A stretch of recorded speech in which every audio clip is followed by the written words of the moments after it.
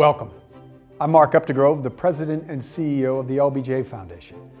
On behalf of our co-hosts, Humanities Texas and the History Department at the University of Texas at Austin, we're pleased to present a conversation with Annette Gordon Reed on her new book, On Juneteenth. A professor at Harvard University, Annette Gordon Reed is the Pulitzer Prize winning author of The Hemingses of Monticello. Her other honors include the National Book Award, the National Humanities Medal, the Frederick Douglass Prize, and a MacArthur Fellowship. In her new book, On Juneteenth, the historian and native Texan examines the Texas roots of Juneteenth and its symbolism in the continued fight for racial equity. Signed copies of On Juneteenth are available at lbjstore.com. Our moderator this evening is Dr. Daina Ramey Berry, professor of history and chairperson of the History Department at the University of Texas at Austin. Dr. Berry is an internationally recognized scholar and consultant on the subject of slavery. Please join me in welcoming Annette Gordon Reed and Daina Ramey Berry. So, thank you so much for taking the time to come and talk to us today. Mm-hmm. I have lots of questions that I'm excited to have this conversation with you. Um, as you know, I read your book with great um, admiration, and um, I would love to know about the origins of your project. Like I'm, you know, we always we write books, but no one always knows how they got started. Yeah. So how did this project come about? Well, uh, it's sort of a long time in coming. Uh, my mm-hmm. editor had been asking me to think about writing a book about Texas, mm-hmm. a, a big book about Texas that would talk about the history of slavery and maybe start by referencing my family, maybe in an introduction, and then going into talking about the history of slavery. I did a review for uh, the New York Review of Books uh, mm-hmm. a little over a year ago about Texas, five books about that. And then last year, I did an essay for the New Yorker about Juneteenth specifically. Mm-hmm. So Texas has been on my mind between Bob pressing me to think about doing a book about Texas mm-hmm. and uh, I just decided, you know, with his prompting that, you know, maybe this is something you could do a, a, shorter version of something like this. And I wanted to do something completely different that instead of just doing a, a short history of Texas and Juneteenth, that I would make it a memoir and a history that I would bring that component of my family into it, other than just more than just the introduction, but talk about it, use family stories to tell the, the story of the history of Texas. So I was here last year in the mm-hmm. middle of the pandemic, mm-hmm. Um, mm-hmm. living in Manhattan. I commute between Manhattan and Cambridge. Mm-hmm. When Harvard went virtual, I decided to stay in New York, where my husband is, I mean, yeah. which is why I'm still in New York. Mm-hmm. And so I was here, and we were in the apartment with not many places to go. Yeah, Central Park, uh, and go outside and walk around in the park, and then come back and seeing the the tents in the park mm-hmm. for the overflow of the people who were hospitalized for COVID, and thinking about mortality, thinking right. about my parents, you know, what mm-hmm. they would have made of all of this, this very, you know, kind of unique situation that we were in. Uh, I decided that I would write a more personal that sort of reinf- reinforced the idea that I wanted to write a more personal mm-hmm. look at the mm-hmm. history of Texas, but also do it the a style of writing that I always wanted to do that's but separate from different from the kind of writing I typically do right. as a historian. And so that's how the project was born. Wow. That's interesting because if we think about what we do during the pandemic, and it's neat to see that there's creativity. And we, have talked about that uh, in a number of different spaces that we still can be creative in a, in a very difficult moment. And mm-hmm. I like that you turn this this pandemic and the isolation and and having to be quarantined and living in our homes um, as a way to produce something and produce something very personal. And that was mm-hmm. that was that was my next question was what was it like writing about um, your personal i mean most most of your writing is very professional i mean you've obviously mm-hmm. done legal writing but then you've mm-hmm. written a number of books about thomas jefferson and sally hemings and i'm wondering you know how was it to write something that was memoir was it a different style and was it was it more challenging I think it was challenging in a way because you really do have to open up when you're writing yes. a memoir. Uh, and uh, I, I, open up in this book. My my co-author Peter Onuf, who read the manuscript, said, "Well, you do open up in a sort of an Annette Gordon Reedy kind of way, meaning it's open but not way open." Right. Um, I I wanted to. I didn't want to be the focus of it. I wanted my family story to figure in it, but I didn't want it to be about me.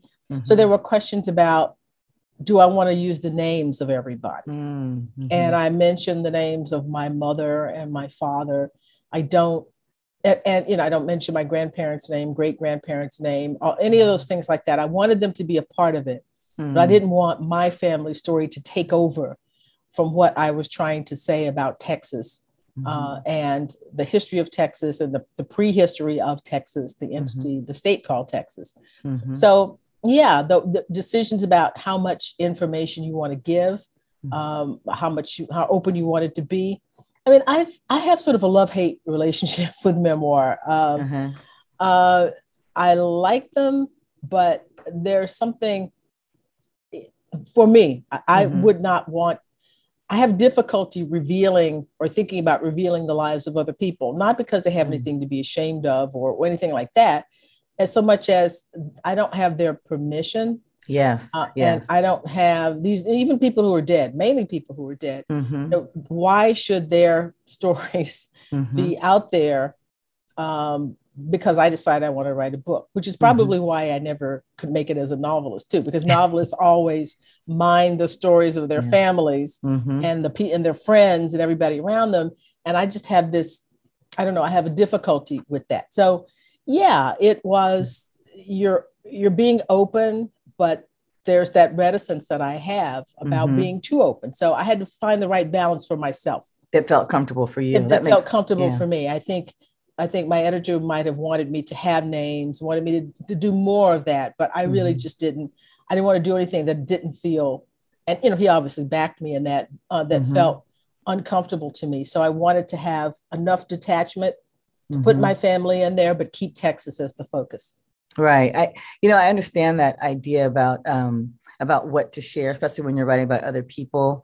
Mm-hmm. Um, sometimes it's for me, it's a gut feeling where I feel like I'm, I, I come across a story in the archive and I, I don't feel like I, I, have the permission to write about it. And I don't. Like whenever mm-hmm. I have a gut feeling about that, I'm just like, okay, That's I'm going to leave this one there. I'm, I'll, I'll, I'm okay. mm-hmm. Yeah. but then there's other times comfortable to you. Yeah. There's other times where you feel like there's something that's really drawing you towards going deeper into that, um, mm-hmm. into different aspects. So I, I appreciate you sharing that. Mm-hmm. Um, so you, you mentioned about, you know, you're from Texas and you, I know you're a proud Texan. Mm-hmm. So um, what I like about the book about on Juneteenth is that you really are, it's really a history of Texas from a personal perspective, right? Mm-hmm. Um, but it really touches on some of the major flashpoints of Texas history and the major flashpoints of even some of the contemporary debates that we're having about American history. Mm-hmm. So I mm-hmm. wanted to know if you could say a little bit about um, about the beginnings. I love I love the origin stories. That was one of my favorite chapters. Um, mm-hmm. Um, but could you talk a little bit about about how you decided to make different choices about what to include uh, regarding Texas history? Mm-hmm. Well, you know, I also decided that I was going to construct it as a history of Texas, talking about people. Mm-hmm. Uh, that's telling the stories through the people of Texas. And there are mm-hmm. different people in Texas. There are indigenous people, Indians, uh, people of African descent, Europeans, Anglo Americans, uh, Latino. Mm-hmm. so I wanted to try to have chapters and vignettes and things that talked about each group and how I connected to each of those groups. Mm-hmm. And so, because I, you know, had this experience of, of being a child, integrating our town school district, that put me in touch, our, our town schools, mm-hmm. that put me in touch with the issue of race mm-hmm. and the, in the, uh, the issue of law and race. And you kind of wind the tape back and you realize that a lot of this stuff, Jim Crow, is an outgrowth of, was an outgrowth of the end of slavery when mm-hmm. people were trying to put things back as near to slavery as they could get it. Yeah. And so you just keep walking back and you know it just kind of unfolds the story is you could find out know how we got to this place where mm-hmm. I was in the mid 60s in a situation where it was a big deal mm-hmm. for a black child to go to a white school. Why there had been so much resistance to Brown, you know, a mm-hmm. decade's worth of that in Texas.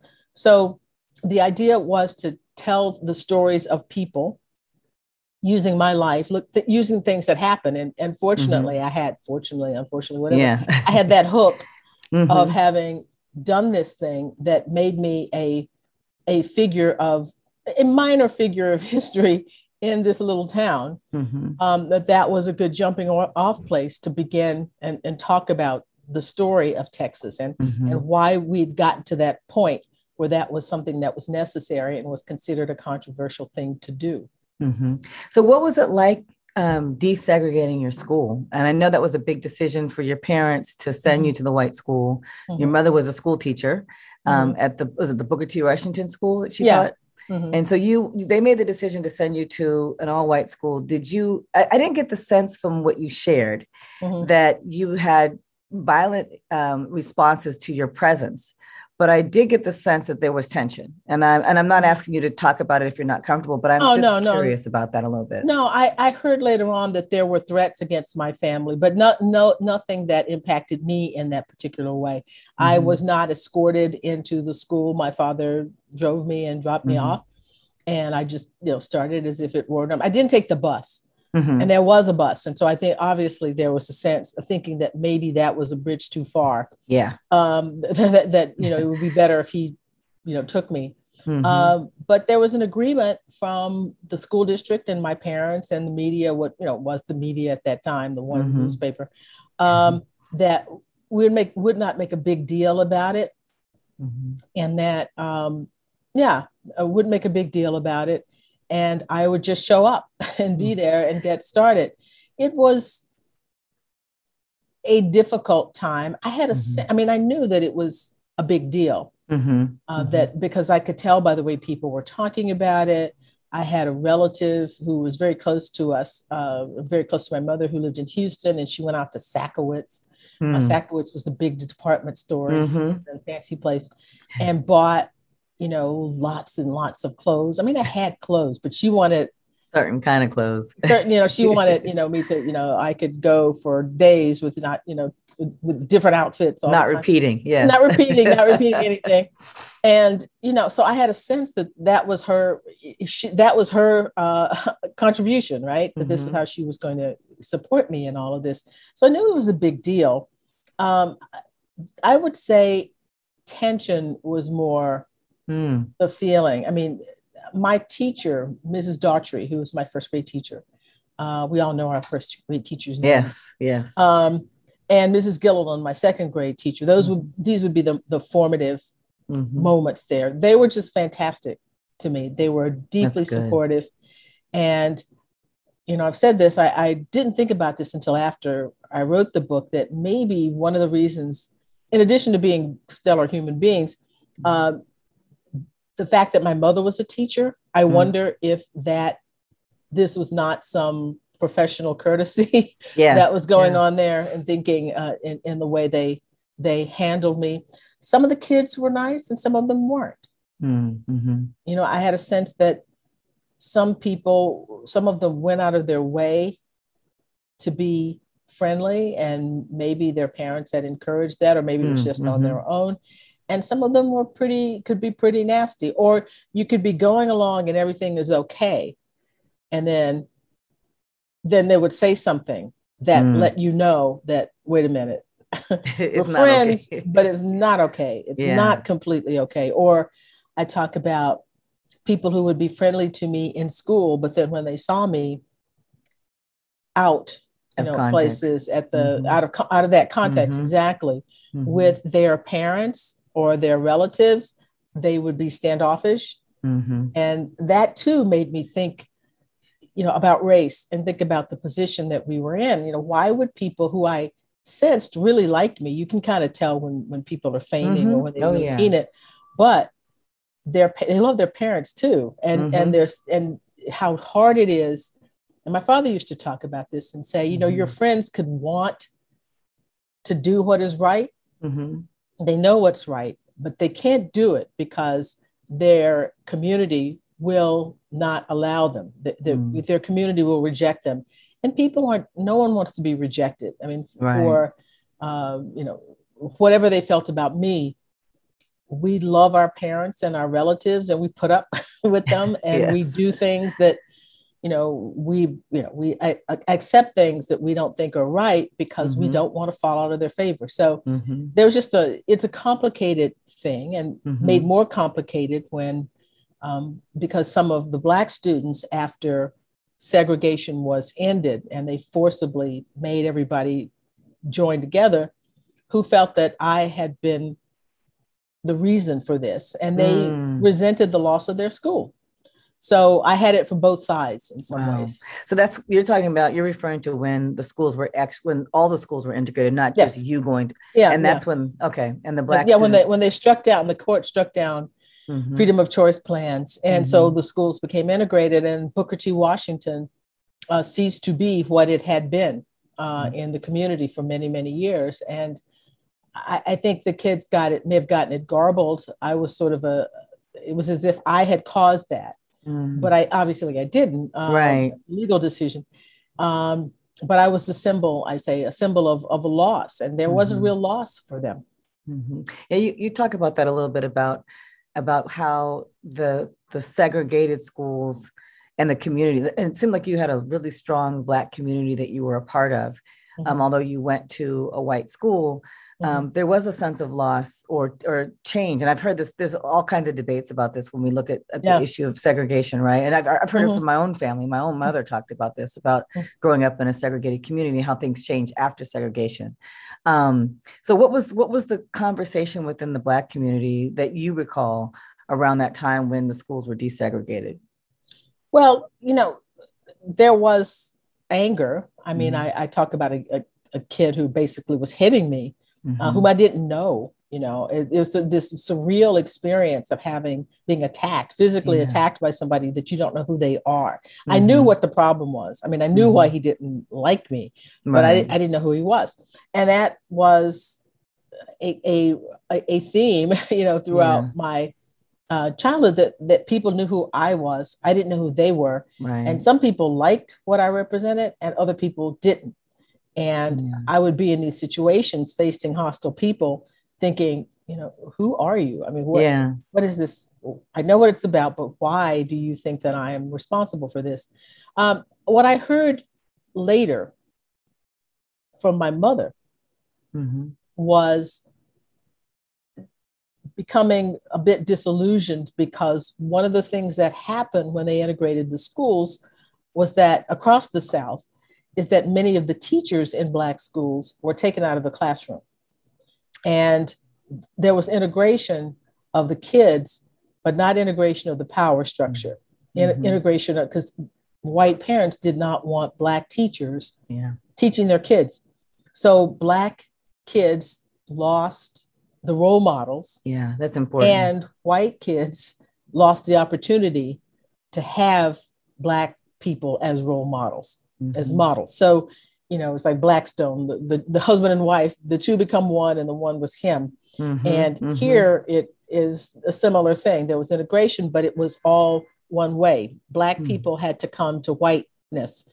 White mm. people didn't, you know, come to blackness in any any kind of way. It didn't mm-hmm. change the power structure. So, um, yeah, that that was. Yeah. I, I, you know, it's it's hard to talk about this because yeah. I don't want to sound like I'm romanticizing segregation. Yeah. Yeah. And, and I'm not. Mm-hmm. You, you can't have a, a system of dual citizenship, of legalized dual, you know, inferior status for right. an American citizen. So we just can't do that. We have to come up with something different. Right. But the reality is that for some people, that sense of community because the teachers lived in the community. Mm-hmm. Mm-hmm. Um, they socialized with the parents. They went to the same churches. Mm-hmm. All those things. I I loved mm-hmm. my first great teacher, but she didn't live in our community. She didn't right. socialize. So we were Texans, but we were separated by race. Right. And we could meet at some places, but it wasn't wasn't the kind of organic situation, uh, mm-hmm. close situation that existed among teachers and students uh, from Booker T. Washington.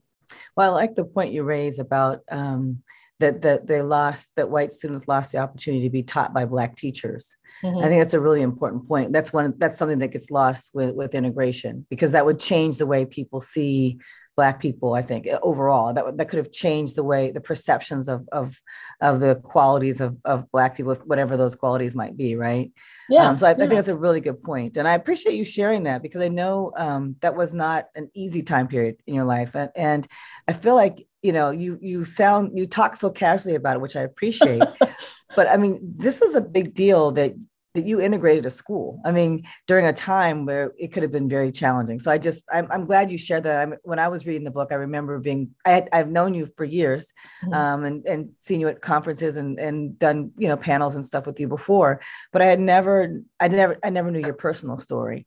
Mm-hmm. And I, and I was thinking like, that's, a, that's a big load to carry, like as a young child, but it seemed like you handled it very well. So I just mm-hmm. wanted to thank you for sharing that story with the mm-hmm. wide audience that you now have shared that story because it's it's a story about integration that will allow people to understand it from a very personal perspective. So yeah. I think it's very important. Well, thank you. I, you know, I, while I was working on this, after I finished the book, actually, I found an essay that I had written mm. some years ago, and it must have been a long time ago because it was like courier type, you know, that kind of thing. It was a long time ago, yeah. and about this experience. Mm. And it could have been a, you know, it was basically a Texas town, but written before mm-hmm. the Hemingses of Monticello. I don't, rem- I don't remember. It was so long ago. I don't remember doing wow. it.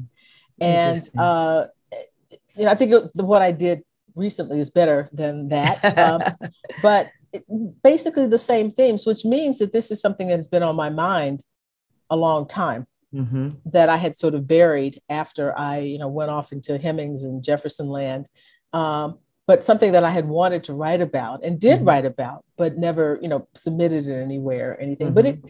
you know, kind of is a big deal. You yeah. Know? I don't, I don't, I haven't thought of it that way in, in, you know, for most of my life, but um, it's a big deal. I have kids of my own. I don't mm-hmm. know that I would have done that. Yeah, I was I thinking would, about that when I read it. I sent them to a school that was predominantly white, but not, mm-hmm. they weren't the only black kids right. there and right. there were black teachers and so i mean it wasn't like that but what i'm the difference is i think my parents this they were in a moment mm-hmm. 64 65 mm-hmm. the civil rights act the voting rights act yeah. black people were on the move everybody mm-hmm. was doing stuff mm-hmm. everybody was doing their part yes uh, for race uplift everybody was doing that so I, it, I can't replicate that moment when my kids were that age because right. we were beyond that. There were other issues that mm-hmm. were involved, but not that. And so I think they did that in the, the spirit of the moment. Right. So let's let's talk a little bit about Texas history. Um, you know, you were right in saying that Texas history is taught uh, in two different grades, right? Mm-hmm. Um, I think it's is it fourth and seventh or fifth fourth and seventh? And seventh. Fourth, fourth and seventh. It was yeah. for me. Yeah. Yeah, it still is. It still is actually. Mm-hmm. Um, so, what, what, what is the grand narrative of Texas, and how does your story about Texas uh, either mirror that or diverge from it?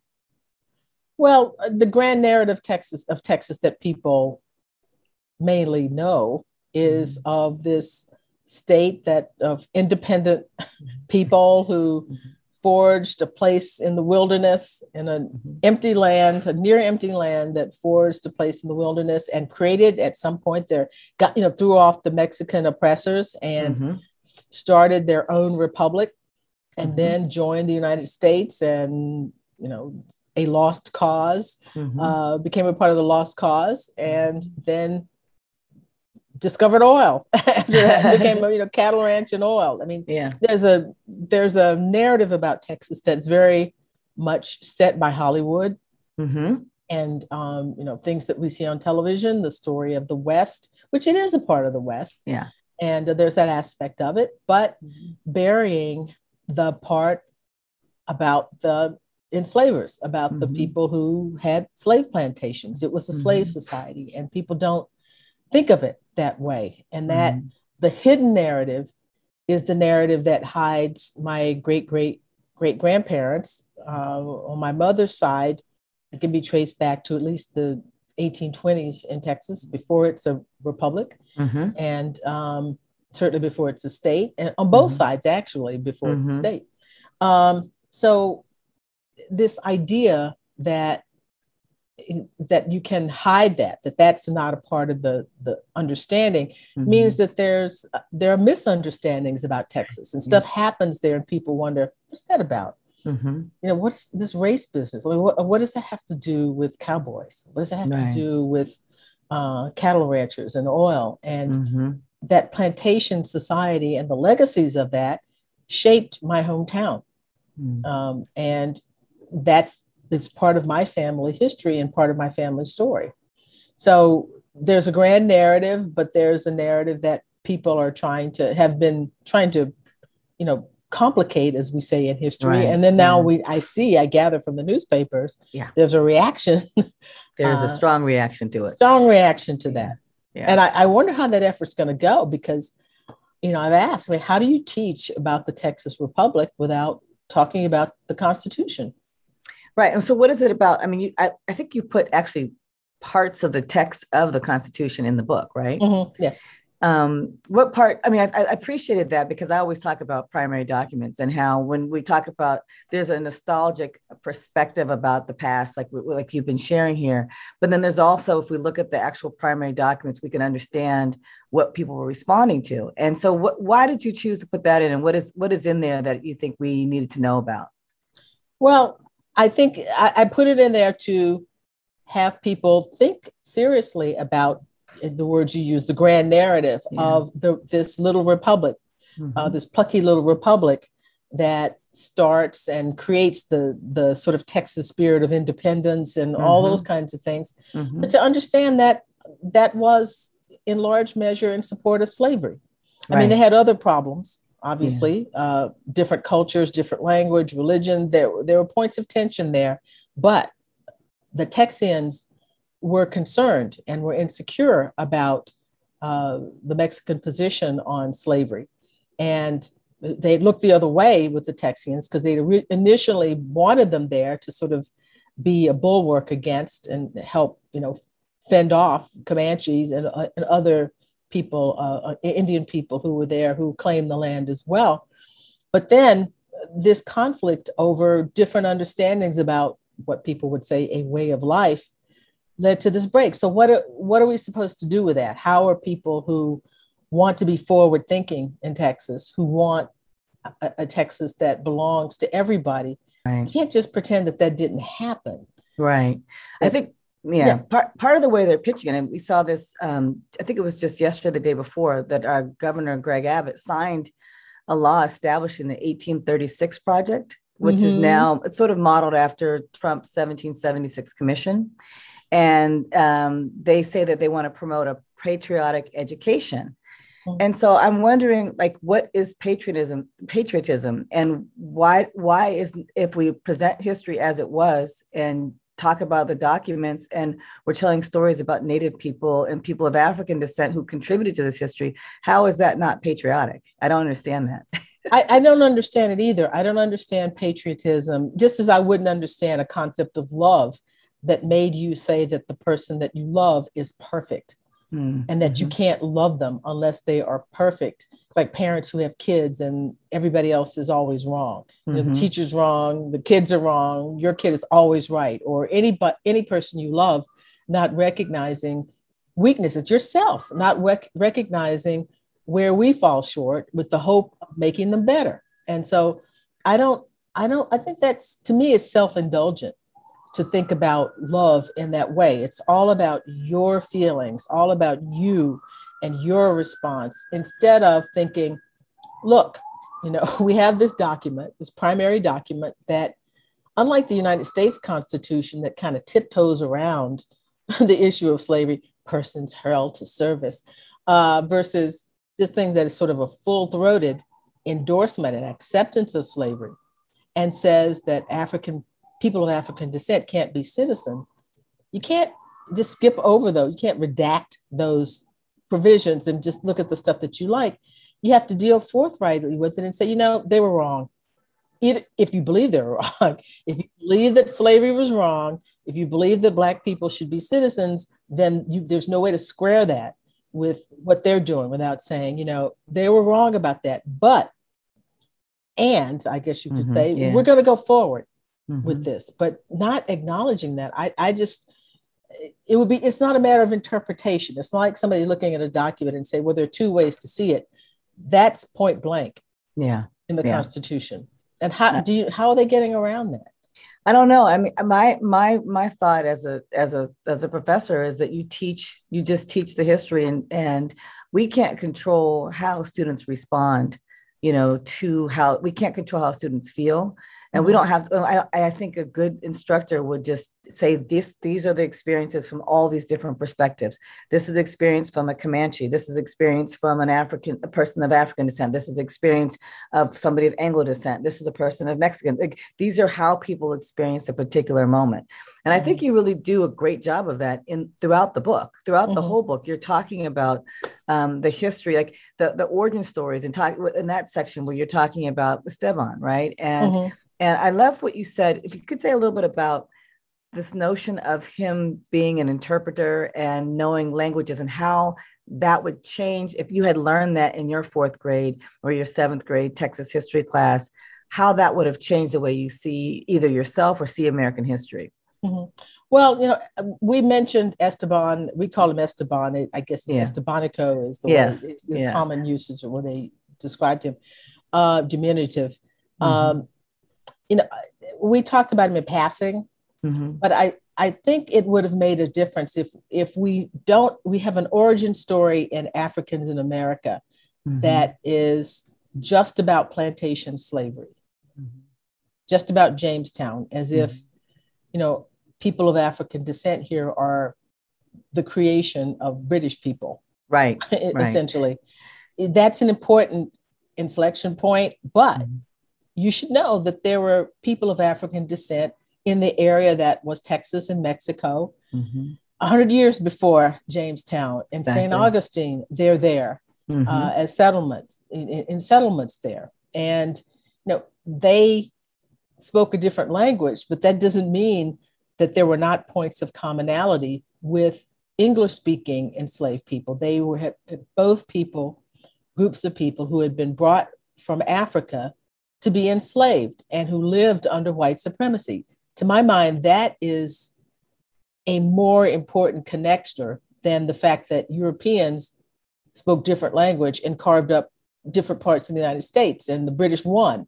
You know, I mean, so what? We don't we shouldn't define ourselves by how our captors viewed themselves and their societies they would have been treated if a, a black person escaped from you know san augustine or whatever was brought from there up to virginia or you know vice versa they'd be treated the same way. They'd be seen the same way. So i think an origin story about a person who was who was a, a translator who was for a time when they were away from spanish settlements had to have been treated as more equal because they were trying to survive. They dwindled from 300 down to four, walking across Texas. Miles and uh, miles. miles and miles across mm-hmm. Texas and Mexico or over to the Pacific seaboard. Mm-hmm. And Black people, others who came with mm-hmm. the Spanish and who broke away from them, and some went down to Veracruz mm-hmm. and, you know, made a genetic mark right, on the right. people there. And you know, to know that Black people did lots of things, there's constant effort to limit mm-hmm. the capabilities and the experiences of, of Black people. And this language business I thought was intriguing yeah. to me because, you know, I, I talk about this in the book and how exasperating it is when people have asked me over the years, you know, how did James and Sally Hemings, you know, learn to speak French? Like, you know, like they black people speaking french you know what is what's going on with that how could that happen um, and it's this sense of limitation questions mm-hmm. that i don't think would have been asked yeah. about a white person say who had mm-hmm. been taken over to france as a servant mm-hmm. no one would be asking after five years living there how did he learn how to speak french exactly exactly you know? so the, the sense of limitation if you tell if you if children have a broader sense of you know the capabilities of people of African descent. I th- mm-hmm. It just shapes the way you see Black people in general. I agree. I agree with that. Thank you. Um, another point in the book that I thought was really interesting was when you talked about um, where you were from. Was it Montgomery County? Is that correct? Mm-hmm, that's where I, I, was born in Polk County. Yeah. Okay. When I was about six months old, my parents moved to Conroe, which is in Montgomery County. Right. So you talk about a few um, racial incidents that occurred there before you before you were there, before you were born. Mm-hmm. Um, there were a few lynchings um, mm-hmm. that have. I'm, I'm, calling them lynchings. Is that what is that how you would characterize? I mean, yes, yes, are, yes. So did you grow up? Did you hear about those stories as well? Um, were they part of the lore? And were you worried about the KKK or other racialized racial violence activities while you were growing up there? I was not worried about That's the good. Klan when I was there, even though I may may I should have been because they were active in this area. I mean, I was in childhood, you know. Yeah, I, yeah. Uh, I mean, I knew that store owners were sometimes not nice to us. I mm-hmm. knew, I understand, I stood about all of that, but I, I don't think I didn't did not live under the idea that I was under constant threat of of, mm-hmm. of violence, even though I knew that there was tension mm-hmm. in the air. And there's just again, it's this thing you don't know exactly where this comes from, but um, this was a town that had a history of lynching.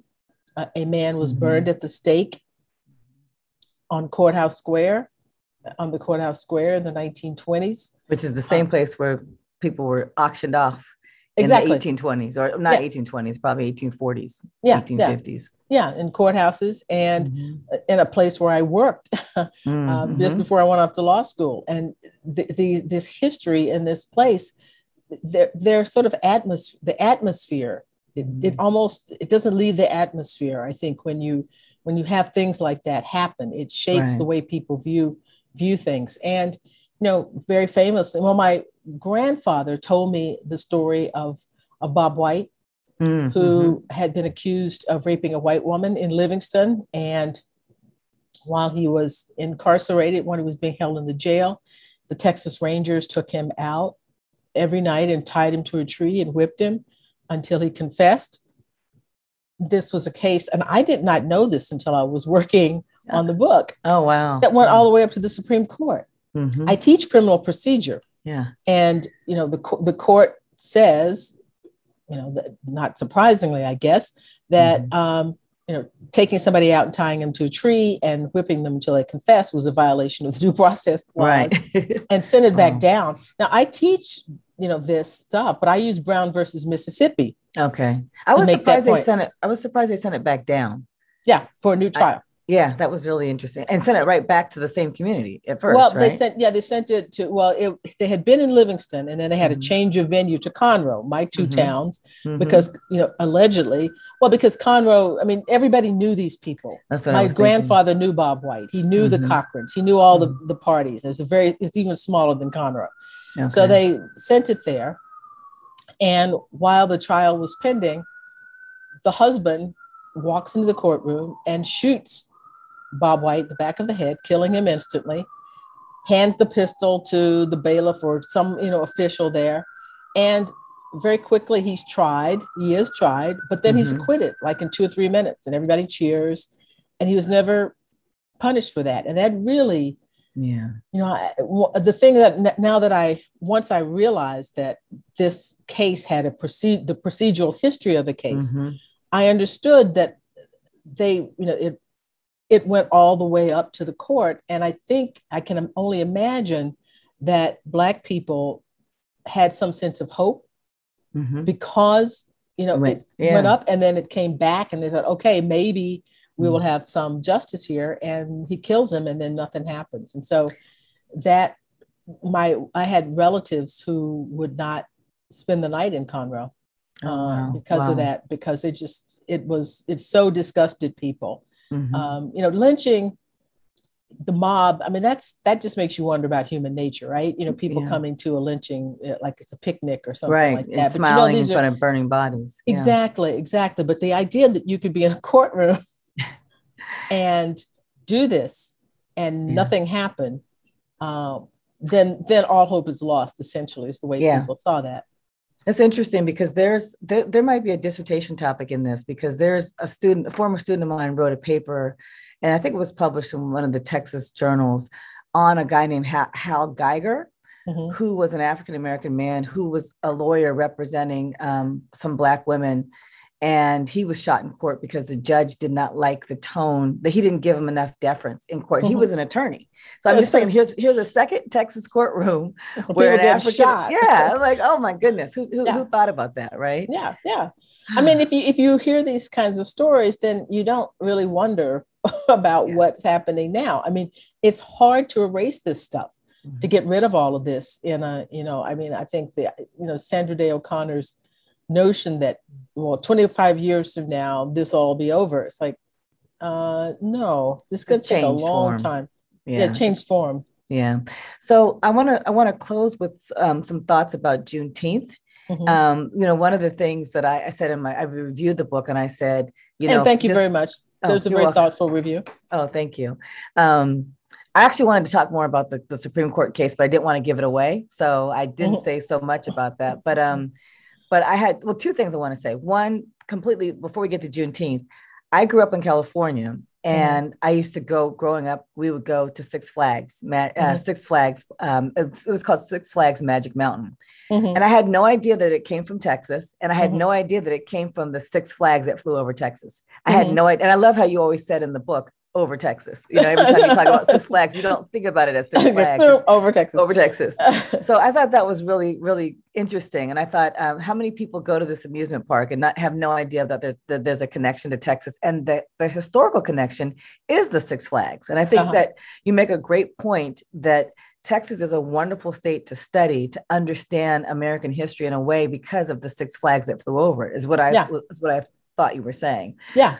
Um, okay. So um, so that was just one little side point. But my, my thing about Juneteenth was I was saying that for the readers that pick up this book, if you're looking for, you know, these stories about what people do all day and, you know, during Juneteenth celebrations, they're not going to have that. This is really a history and a memoir, but a history of Texas through the eyes of Juneteenth. And that's mm-hmm. sort of how you came to it, is what I thought. Mm-hmm. But I would love to know, like, what did you do to celebrate Juneteenth? I mean, this is becoming mm-hmm. such a huge national and in some places uh, other countries are now starting to recognize it whether it's a holiday that's celebrated that corporations are giving people the day off mm-hmm. um, there are some counties and cities that are also making it and there's some states have made it a, a holiday outside of texas that did mm-hmm. so i would love to know what you grew up doing um, during, during Juneteenth. I know you ate some unusual foods, right? Yeah. Well, you know, we drank red soda water, um, and we had barbecue. There were some people, there's a tradition of barbecued goat. I don't know where that came from. Yeah. And our family didn't